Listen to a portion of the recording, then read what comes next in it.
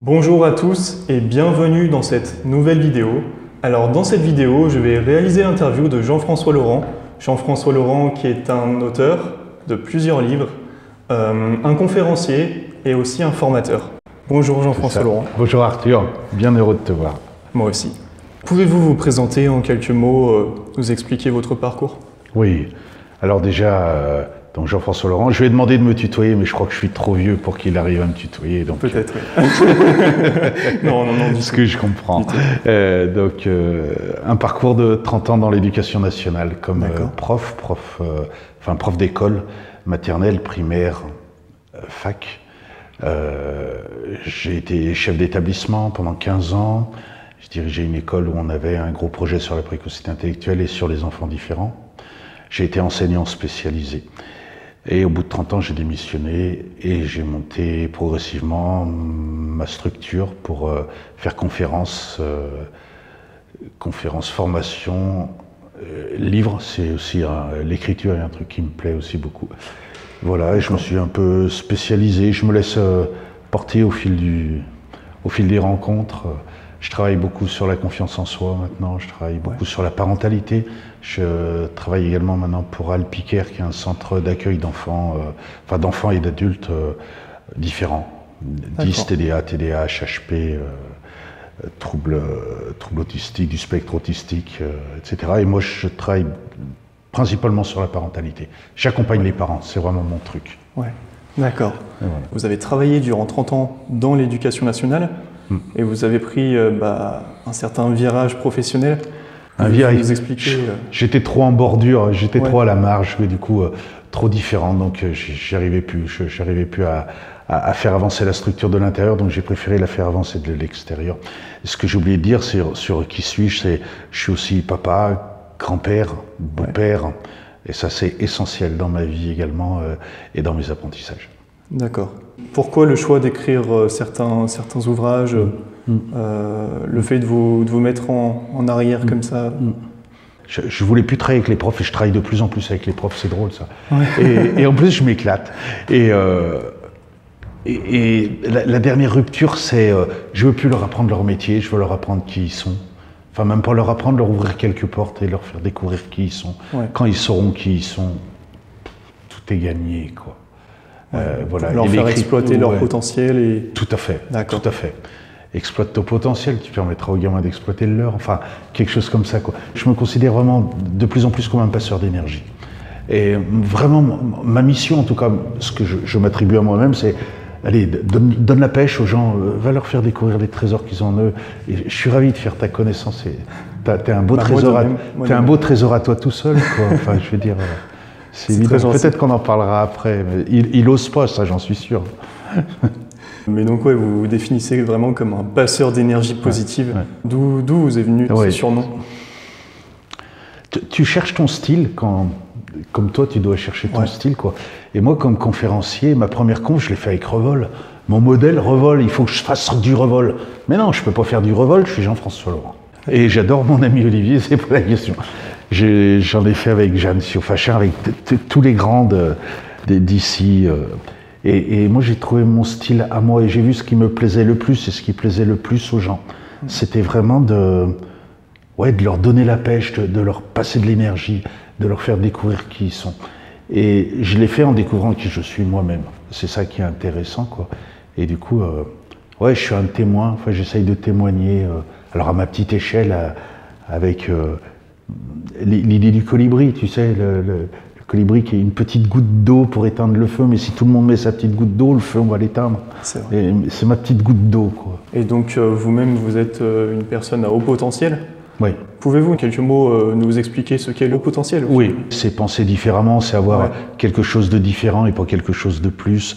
C'est une hyper émotion. J'ai vu que tu l'avais sur ton, ton site aussi, donc on, certainement on en parlera.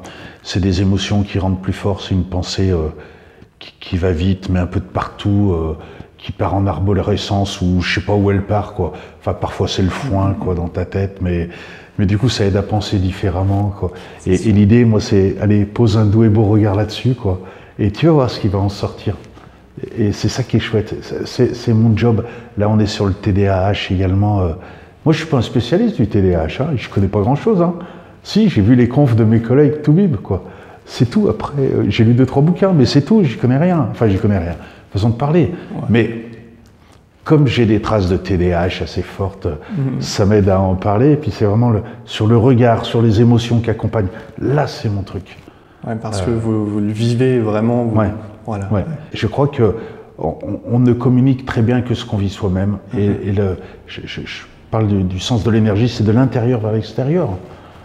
Euh, je crois que tu as interviewé Jean-Baptiste Alexanian. Ouais. Jean-Baptiste Alexanian, ce mec, un toubib, euh, oh, vous le voyez, il a un petit nœud pape rose, quoi. Enfin, tu fais qui c'est ce gars?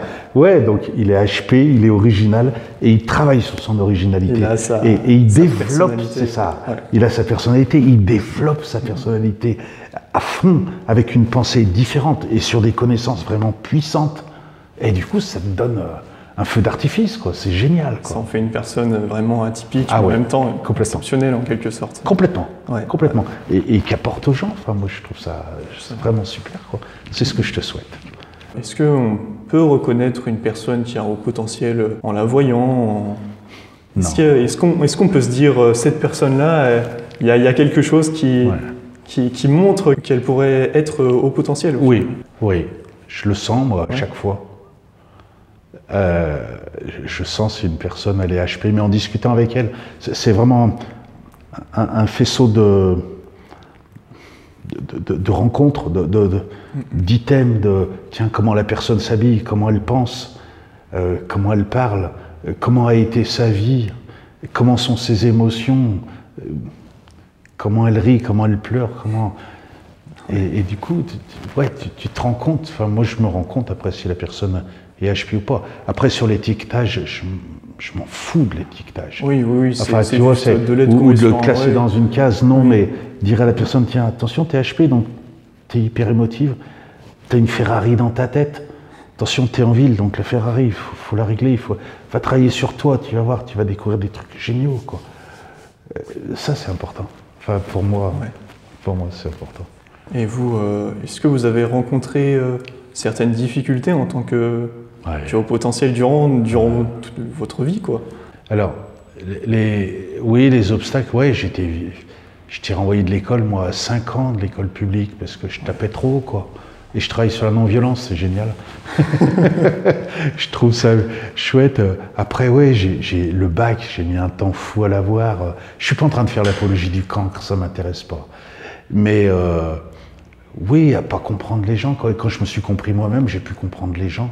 C'est ça qui est chouette. Je trouve qu'une des caractéristiques du HP, du haut potentiel, enfin, et il me semble on a cette chance, c'est qu'on on, on descend plus bas, on plonge dans des abîmes, mais on peut rebondir magnifiquement.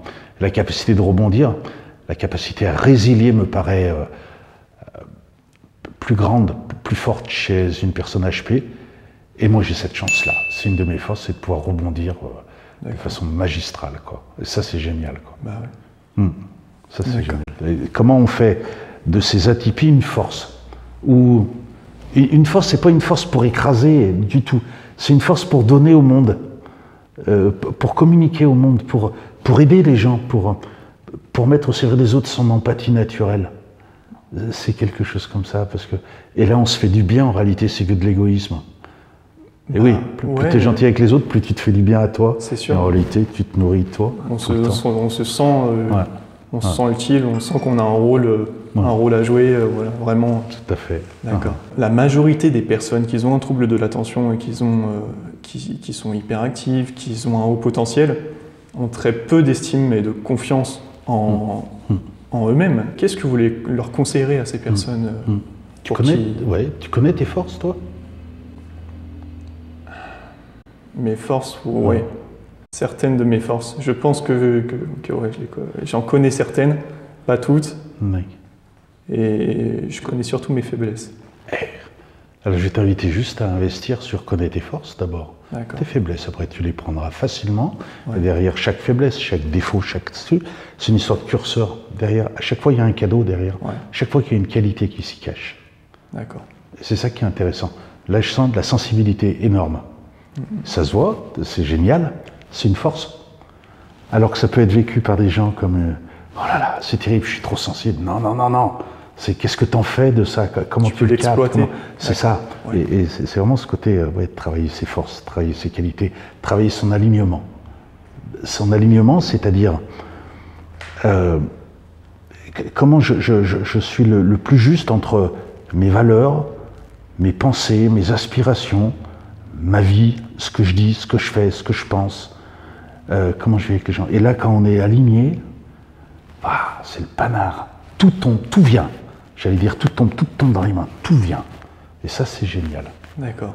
Ça, c'est vraiment un truc incroyable, quoi. Et effectivement, ouais, quand tu es un peu différent, on te stigmatise sur tes différences. Or, tes différences sont des forces. Peuvent être des forces, À condition une- de bien les exploiter. à condition les- de bien se connaître. D'accord. Euh, Moi, c'est vraiment le truc de bien se connaître. Ouais. Et bien connaître tes forces. Et, et- et pas, souvent, je pose aux gens, euh, donnez-moi cinq qualités. Pff, ils en trouvent deux. Et deux, ils sont champions du monde. hein. Je leur demande, trouvez vos défauts. Là, 1, 2, 3, 4, 5, 6. Non, non. Fais focus sur tes qualités. D'abord. Comme ça, tu t'appuies dessus. C'est ça qui est important. D'accord. Donc, connaître ses qualités, Oui. Oui. ensuite les exploiter, les développer. Oui, quand tu connais tes qualités, il y a trois, tu, tu les mets au service des autres. Ça, c'est génial. C'est vrai. Le deuxième point, tes qualités te protègent, c'est-à-dire qu'on vient t'attaquer sur ces qualités-là, si tu les as intégrées en toi, moi, les gens, je, leur fais, je les repousse carrément avec mes mains. moi. Je, je, je prends pas, enfin, je me reconnais pas dans tes propos, mais ça me fait pas spécialement plaisir. Mais non, je crois pas. Alors si 50 personnes te disent un truc, tu te dis à un moment donné, il faut te mettre en cause. hein. Mais autrement, non, quoi. Enfin, tu, tu- tu vois là-dessus. Et, et- et ça, c'est chouette. Et quand tu connais bien tes qualités, tu peux prendre tes petits défauts et en faire quelque chose.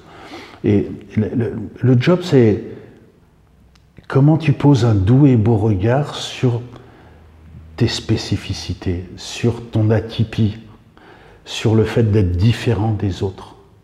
C'est quel beau regard tu poses et comment t'en fais une force. En gros, tu as des forces en main qui sont incroyables là. Même toi, enfin toi d'abord. Enfin ça se voit, c'est criard. euh, c'est- et du coup, développe, va dessus, va vivre tes passions.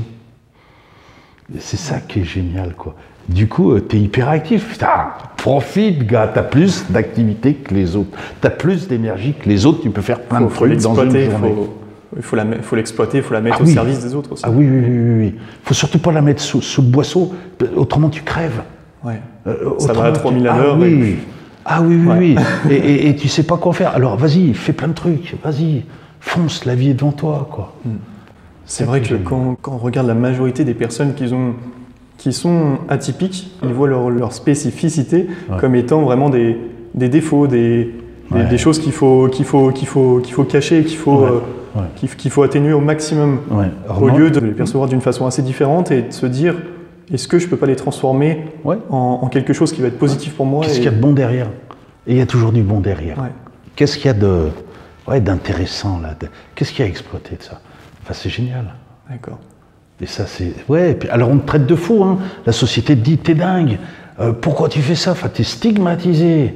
Et, et- mais- et du coup, tu as besoin de faire en plus un gros travail sur toi pour aller chercher ces trésors, pour que ça ne te touche plus et que tu t'entoures de gens qui posent juste ce doux et beau regard sur toi, sur qui tu es, sur ce que tu fais, parce qu'on en a besoin. D'accord. Et euh, aujourd'hui, dans notre société, vous pensez que c'est essentiel d'avoir euh, d'avoir pleinement confiance en soi et d'avoir Oui. une vraie estime de, de soi pour évoluer? Pour- Oui. Ouais. Oui, oui, oui. oui. L'estime de soi, c'est la valeur que tu t'attribues à toi-même. C'est fondamental. C'est pour moi la première mission de l'école, c'est celle-là. Moi, c'est ce que je vais travailler avec les gens. Mais quand tu demandes à des profs, allez, sur une salle de 150 profs, qui a confiance en lui? T'en as deux qui lèvent la main, c'est deux délégués syndicaux. Enfin, je dis ça en, en boutade. hein. Ils n'ont pas confiance en eux, parce que tu peux toujours mieux faire. Dans ton job, pareil, dans le mien, toujours. On peut toujours mieux faire. Oui, bah regarde déjà ce que tu fais de bien. C'est vrai. Ok, et, et on est dans un job où on n'a pas confiance en soi. Et du coup, alors moi, moi, le, le- le travail que je fais, c'est, ouais, profites-en pour travailler ta confiance, tu feras travailler celle de tes petits, enfin, de tes petits, tes élèves euh, en même temps, et ça c'est génial. Quoi. La première mission de l'école, c'est donner confiance en eux à tes élèves. C'est vraiment, une fois qu'ils ont confiance en eux, le niveau d'agressivité tombe, le, le- le niveau de compréhension du monde augmente, euh, l'apprentissage est facilité, enfin, tout baigne, tout baigne. Et en France, on n'est pas bon. on n'est vraiment pas bon. On est au niveau de la Corée du Nord, au niveau de développe- du développement de la confiance.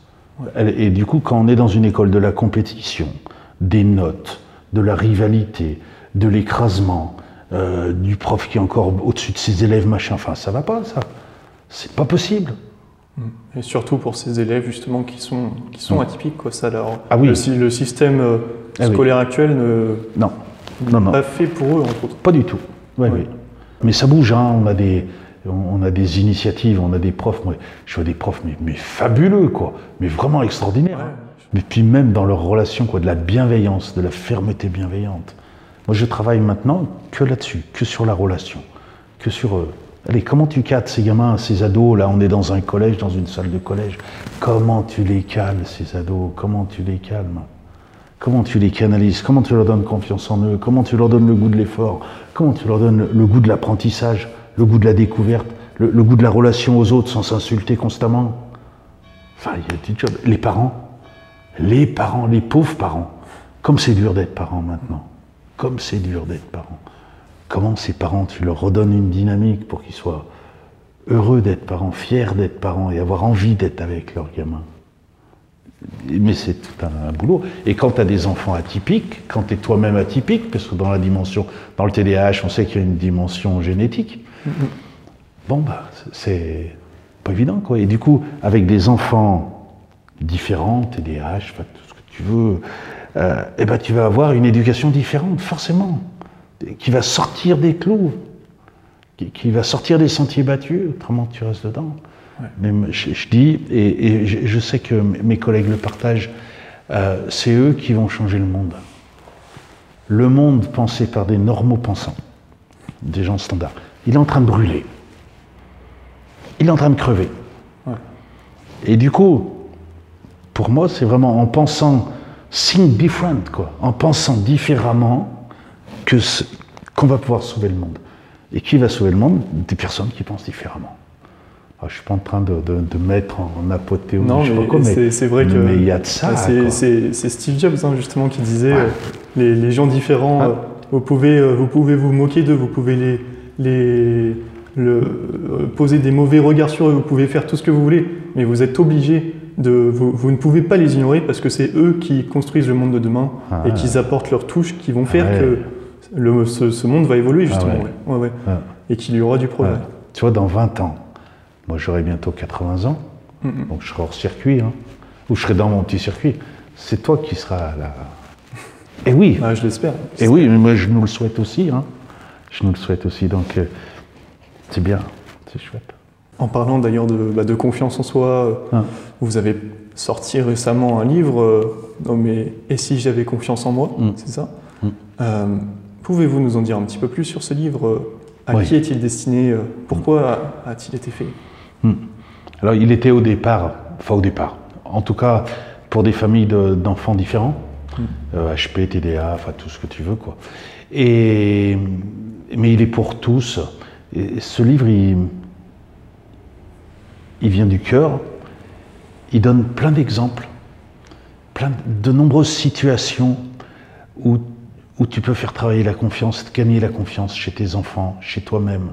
Et, eh bien, tout un tas d'exercices vraiment très concrets euh, à faire, parce que la confiance, euh, elle se gagne. euh, enfin, comme je dis souvent, elle, euh, quelque tu te chose pas un matin, euh, Ouais. oh, je comprends pas, j'ai confiance en moi aujourd'hui. Ça, ça n'existe pas. C'est comme l'Esprit Saint qui te traverse là. Ça, ça n'existe pas. Enfin, ça ça, n'existe pas sur la confiance en soi. Sur l'Esprit Saint, C'est une motivation qu'on a en un instant T ou Oui, qui, et nous- puis qui donne, une, donne une impression d'avoir confiance en nous, mais c'est Ouais, que éphémère. mais- mais, euh, pff, oui, très, et puis ça n'existe pas, quoi. C'est un travail, un vrai travail à faire. J'allais dire, nous faisons un certain nombre d'exercices. Moi, j'ai la chance en conf, je fais toujours travailler les gens là-dessus, mais je travaille à chaque fois avec eux D'accord. pour toujours travailler sur la confiance en moi.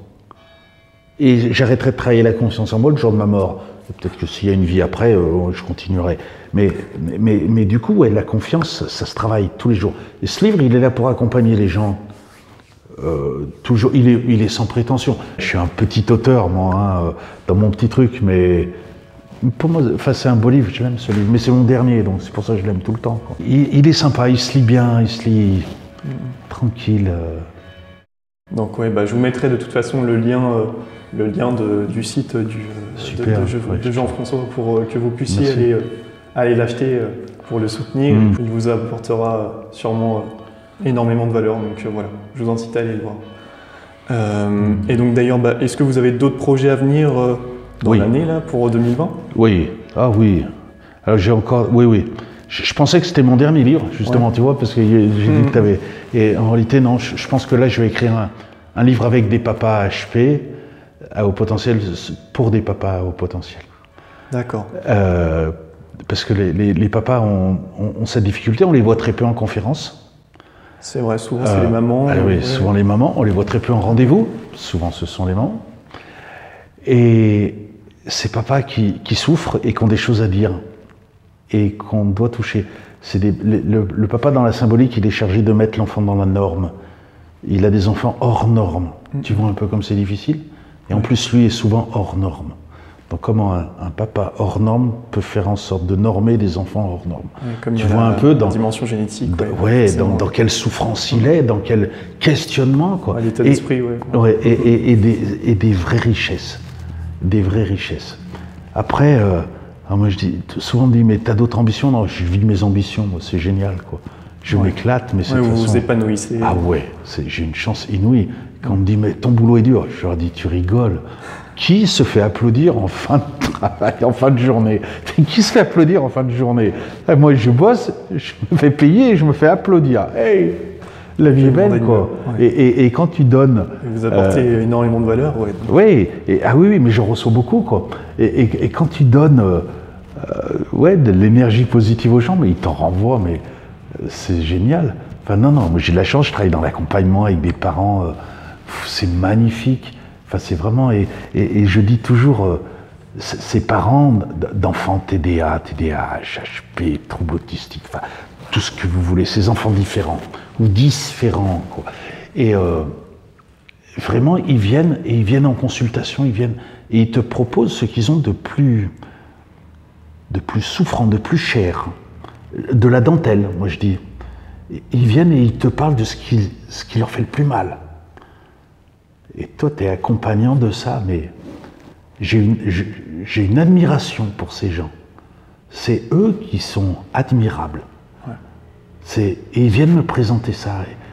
Ce trésor, le trésor de leur souffrance, de leurs difficultés. Et toi, tu, tu- bah, tu dois bichonner et caresser. euh, Qu'est-ce qu'on peut en faire de ce trésor, quoi de, de cette souffrance, de cette difficulté? Et il faut le faire, ils ont un courage incroyable. Les parents qui viennent consulter ont un courage incroyable. Et ils viennent proposer ça à un inconnu. Waouh C'est vrai. Enfin, tu vois, c'est- faut le faire, quoi. Et, et du coup, on doit être digne euh, de, de- de- de cette confiance qu'ils nous font de nous apporter ce qu'ils ont de plus précieux, me semble-t-il. Et du coup, co- co- comment on fait en sorte que qu'ils voient ce trésor, qu'ils qu'ils- qu'ils voient ce qu'il y a dedans et, et- et ce qu'on peut en faire Exploiter, ouais. ah oui, et, parce que ces parents, ils se croient de mauvais parents. Parce que leur gamin, il n'est pas normal. Il est pas, ouais, Il est codes, il est pas. n'est pas conforme. Il n'est pas ce qu'ils attendaient dans leurs rêves. Du coup, c'est de leur faute. Pour eux. Et non. Et du coup, c'est avec ce diamant brut, qu'est-ce que tu peux faire? Et c'est difficile. C'est tellement facile d'en parler comme ça, moi. Mais c'est eux, tous les soirs, qui se prennent la tête, qui les ont, qui ont eu leur journée de boulot. Et quand ils rentrent, ils ont ce gamin qui, qui peut être partout, hors de lui, qui bouge partout, qui comprend pas, qui est triste, qui va leur hurler dessus tellement il les aime pour pouvoir se défouler. Et les parents, ils prennent tout ça, quoi. Moi, je leur dis, soyez les bons parents. Non. C'est bravo. Allez, qu'est-ce qu'on peut faire? Un tout petit truc, quoi. Et vraiment, vous faites au mieux, quoi. Et moi, j'ai des parents, ils sortent les tripes pour leur gamin. C'est incroyable. Et là, c'est un respect infini. Mais vraiment infini. Et, je le ressens au fond de moi, quoi. Et, j'espère qu'ils ressentent. Et, je ne suis pas le seul à penser ça. hein. Et j'espère qu'ils ressentent euh, ce regard que je pose sur eux. Et j'espère qu'ils poseront du coup le même sur eux-mêmes et le même sur leur enfant. Avant que la société puisse poser le même regard Ouais. sur eux, quoi, parce qu'ils sont stigmatisés. quoi. stigmatisés. Ils méritent toute notre attention, ils méritent euh, tout notre intérêt. Et moi, ils l'ont. hein. Ouais. Enfin, et tu tu vois, ce, ce livre, il veut pas guérir tout, puis c'est pas un best-seller, je sais bien. Enfin, je me prends pas pour qui je suis pas, quoi. Mais si je peux amener une petite pierre, le colibri toujours, moi, c'est vraiment un truc qui me plaît. euh, c'est le, c'est la maison Alpicaire où je bosse, c'est aussi le symbole du colibri. C'est comment nous tous, on fait une petite goutte. Toi aussi, tu crées ta chaîne, tu as 42 abonnés, c'est génial. Tu as 42 petites gouttes, tu vas voir, dans deux ans, dans trois ans, tu en auras 5 000, 10 000, 20 000, 50 000, j'en sais rien. Et même si tu en as fait bouger que 42, tu as gagné. Tu as gagné ta place au paradis. Enfin, je suppose que ça existe, enfin, tu vois ce que je veux dire Oui. Quelque chose comme ça, c'est chouette, quoi. Enfin, et tout un chacun, dans notre petit niveau, enfin... Accomplir, dire, euh, apporter notre, notre pierre. Ouais, ouais. Moi, j'ai un truc qui me qui m'aide beaucoup, c'est je m'occupe de mes de mes beaux-parents très très âgés et, et ma belle-mère là qui a perdu la tête. Et quand je dois la changer, quand je dois la l'accompagner à manger, etc. Tu sais, ça, ça, ça me ramène à, à l'essentiel de la vie, ouais. Ouais, puis rien du tout dans la vie, t'es que de passage, quoi. Ouais. Tout est futilité. Du coup, ça, ça j'ai l'impression que ça me remet en, en perspective d'humilité. On Et dans une 30 remise en- ans, c'est mon tour. Une prise de Ah, conscience. ça m'évite de prendre la grosse tête, j'ai l'impression. Ouais. Ça- Tu vois, ça, ça me remet les pieds sur Rester terre. quoi. humble. D'accord. Ouais, je, je suis que ma petite goutte dans l'océan des milliards d'hommes sur Terre, quoi. Ouais, Enfin, tu vois, c'est vraiment, ouais, c'est, et, et là, moi, j'en suis à, ouais, qu'est-ce que je peux apporter à tous ces gens, quoi? Et je m'apporte à moi-même, bien entendu, en faisant ça. Merci pour euh, m'avoir accordé. euh, Je t'en prie, merci à toi, Arthurin. Vraiment, euh, tu es un personnage qui me touche beaucoup. C'est te vraiment gentil. C'est Mhm. vraiment gentil. Je t'en prie. Alors, euh, je vais vous mettre le lien du site de Jean-François Laurent dans la description. Donc, je vous invite à aller le voir, à acheter ses livres également.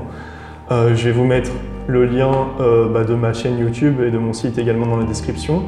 J'ai tourné une petite vidéo donc, dans laquelle je vous donne mes conseils pour essayer de, de vaincre la procrastination. Vous trouverez le lien dans la description. Je vous invite à aller la voir. Voilà. Je vous remercie encore. Merci. C'était un plaisir. Super. À la prochaine. Ciao.